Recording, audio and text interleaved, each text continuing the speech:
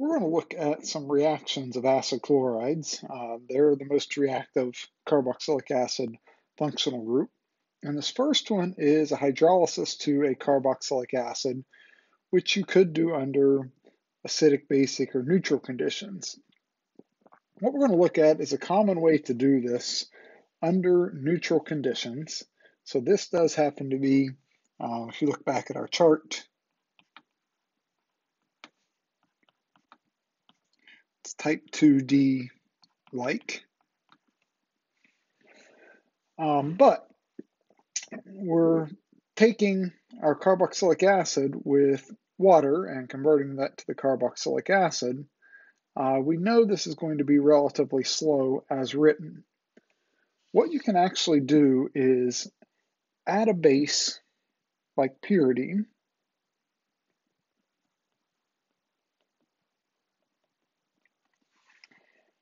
but we're not going to classify this as true basic conditions because it's not a negatively charged base. Pyridine looks like this. So we're still going to consider this neutral conditions.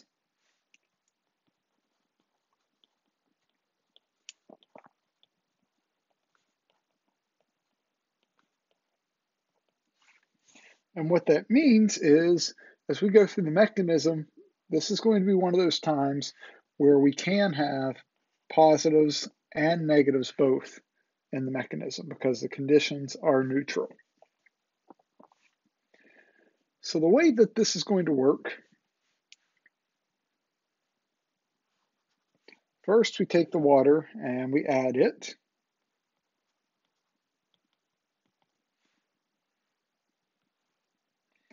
And this step actually isn't all that slow because carboxylic acids are so reactive and so electrophilic.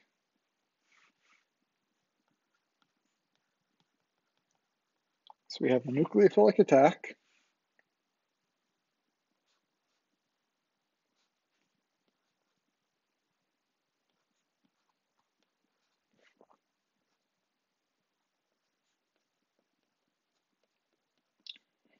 Here's our intermediate that has both a positive and negative charge on it. From here,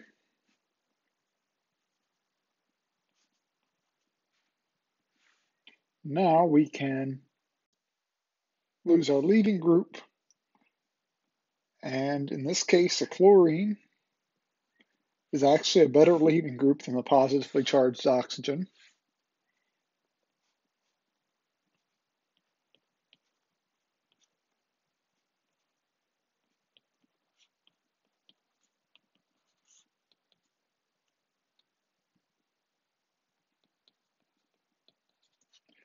And then from here,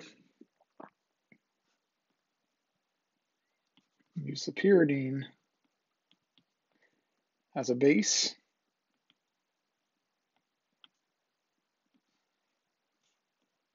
Take that proton off of the oxygen, giving you the carboxylic acid.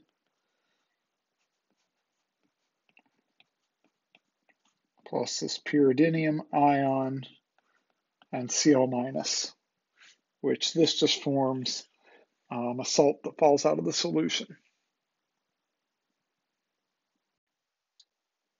You can do an identical reaction to convert an acid chloride to an ester.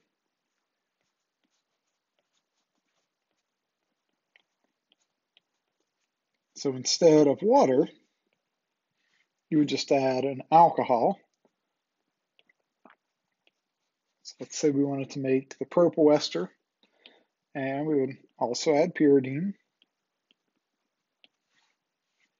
And what you end up with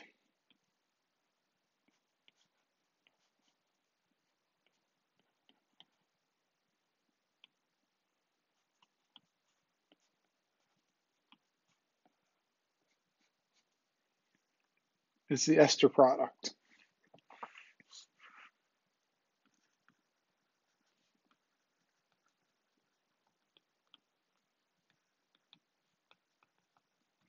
It's the same exact mechanism as reaction one. It's just instead of water, which we did in reaction one, we're using this alcohol. So if you want to fast forward through that, you can because really you probably already know it. Um, but for those of you that want some extra clarity, I will go ahead and walk you through the mechanism here.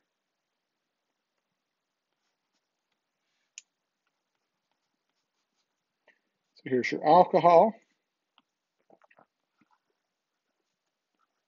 Add that first.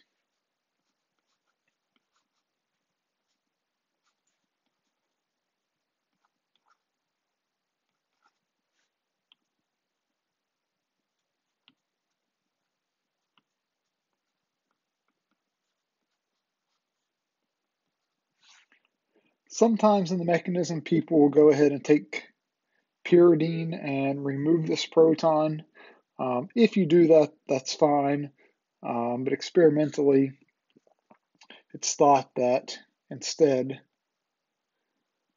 the chlorine is lost first.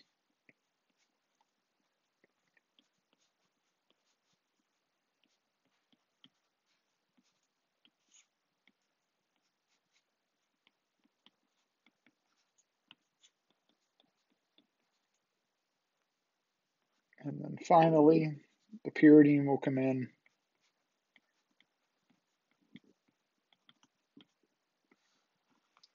and take the proton.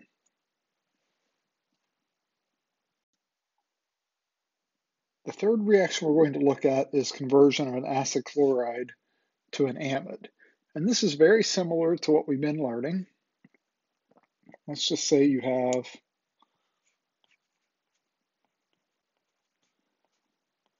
this acid chloride, you want to convert it to an amide.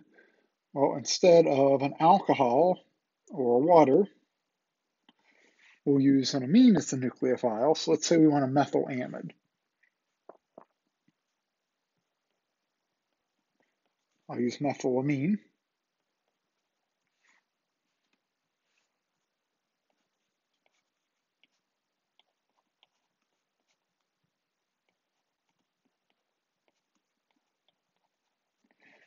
Now, before, what we would do is add pyridine as a base to help this reaction progress. Well, pyridine is a nitrogen base. So why add that extra reagent when this amine right here can act as both the nucleophile and the base? So for this reaction, it's better to add two equivalents of the amine. So the first equivalent will act as a nucleophile.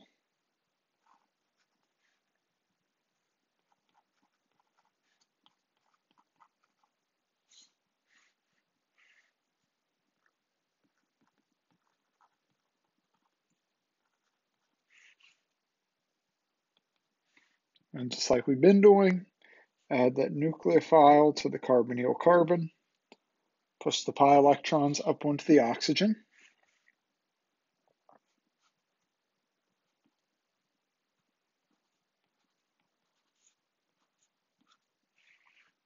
So now we have the bond to the nitrogen.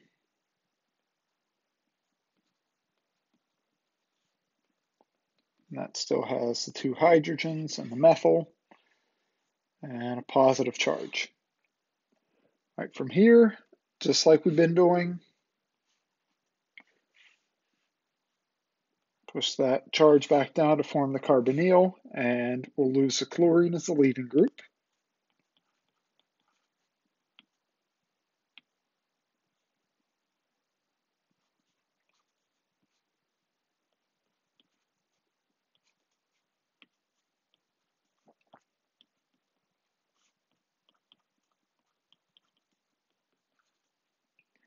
So we get this intermediate, which is where normally we would bring in pyridine to take the proton off.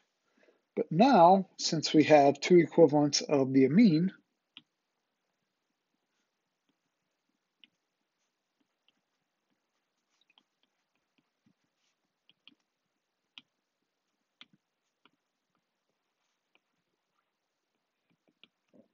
that second equivalent acts as a base.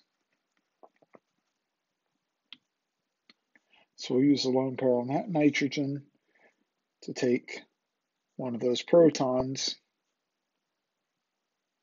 to give you the product, and then the byproduct here would be the protonated amine. And that would just hang out with the chloride ion to form this amine salt.